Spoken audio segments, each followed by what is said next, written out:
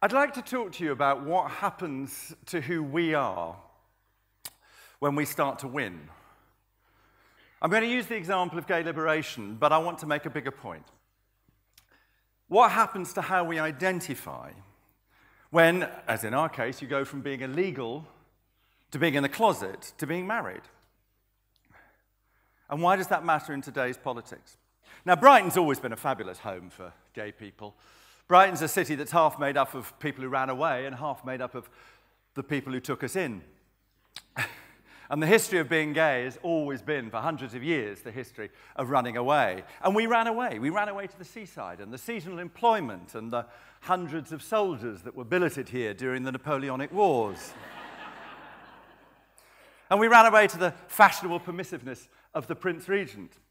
And together with other people, we created a city of difference. We made Brighton into a stick of rock, but a stick of rock that didn't say the same thing all the way through.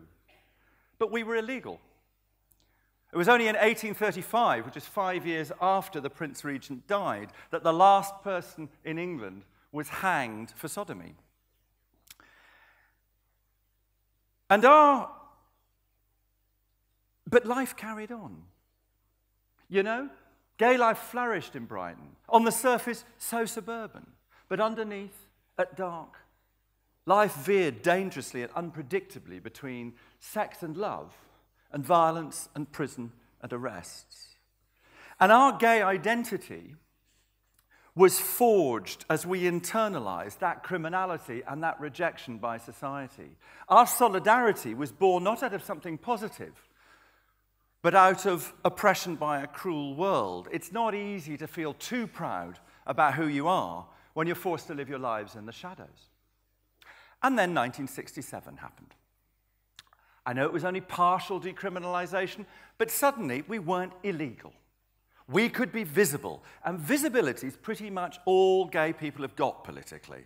It is the big difference between being gay and being black, is if you're black, you don't have to tell your mother.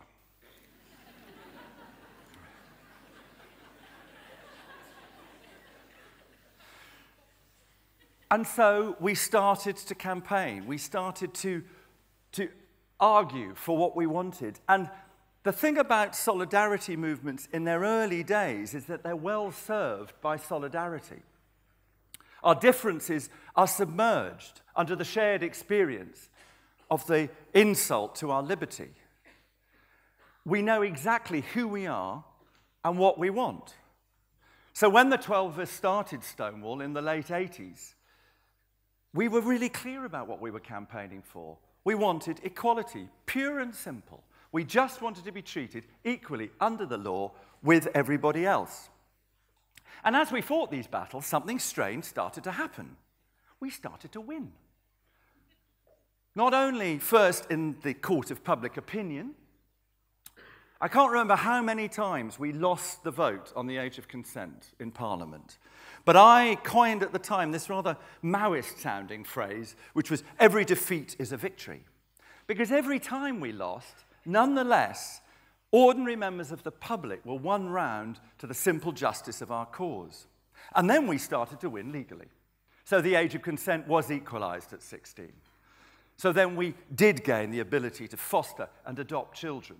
And then the military ban, the ban on lesbians and gays serving in the armed forces was lifted. And that gave rise to some fantastic arguments. I remember once being in a television studio with a very senior military man who said to me, We can't possibly have homosexual soldiers in the army because the other soldiers will be forced to share the showers with them, and that will make them feel nervous and anxious. And I remember saying to him at the time, I said, Look, if what makes you feel nervous and anxious is another guy thinking you've got a really cute butt, I'm not sure the army is the job for you.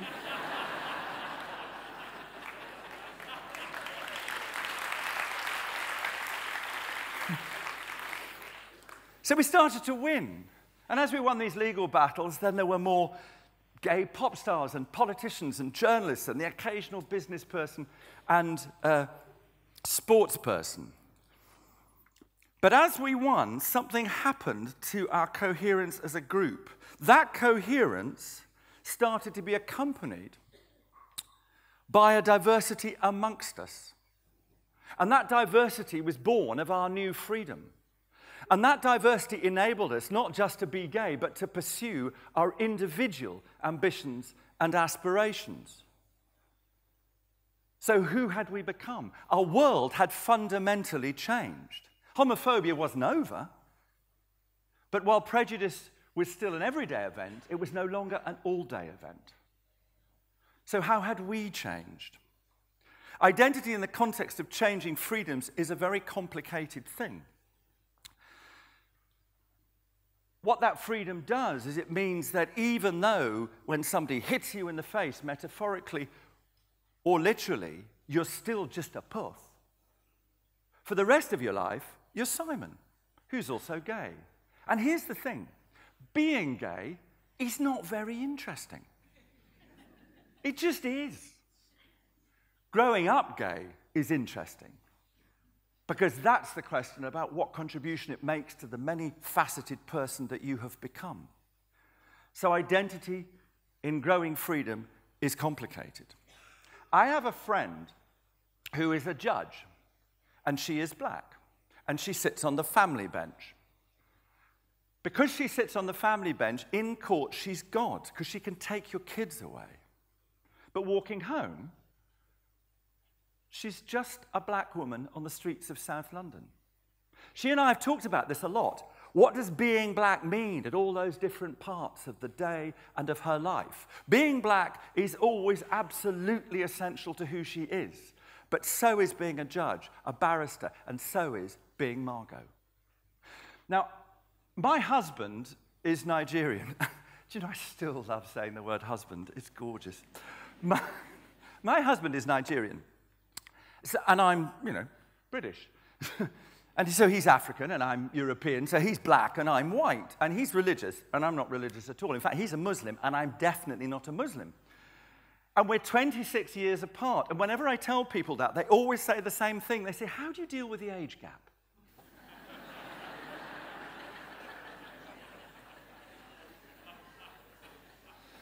but those are just our headlines. As anybody who's in a relationship or been in a relationship knows the real journey is not just understanding the headlines, but it's understanding each other as two different, separate, individual human beings. It's exploring our differences that bring us together, and it's sharing our values that keep us together.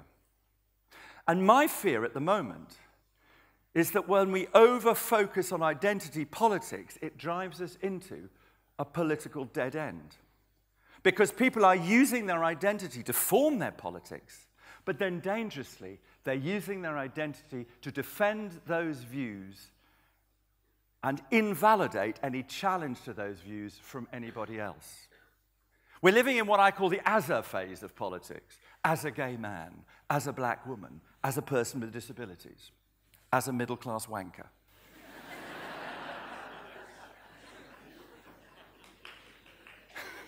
Don't clap too much, please. it's my sister. The, um, which is my husband, I think. Um, is used to make people's politics, but it's then used to repel any challenge. When Donald Trump banned trans people from serving in the armed forces, it wasn't about trans people. He was playing to his base.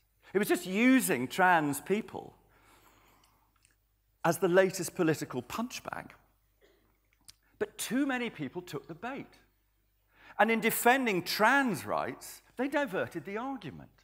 The point of the campaign wasn't to argue about the ins and outs and ups and downs and whether or not be's of trans people serving in the army. The issue at stake was that the President of the United States the commander in chief was banning a group of citizens from one of the fundamentals of citizenship, which is the opportunity to volunteer to serve in defense of your country. I saw a guy protesting it, and he had a, a placard. And on the placard, it said, pro trans rights, anti war. And I thought, how egotistical. this isn't about what you think about war. That's getting in the way. That's stopping us mounting a campaign, a huge alliance of people around the idea of citizenship and fighting Donald Trump's attack on the very idea of citizenship itself.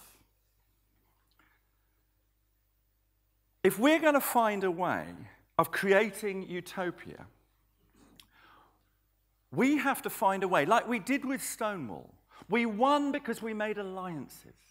We won because we convinced people, our mothers and fathers and brothers and sisters and uncles and aunts and cousins and colleagues and friends and neighbors. We convinced people of a vision of a country in which all of us, them and us, could be equal. A country in which, which was not just a gay country, not still a straight country, but a country in which equality flourished for all of us.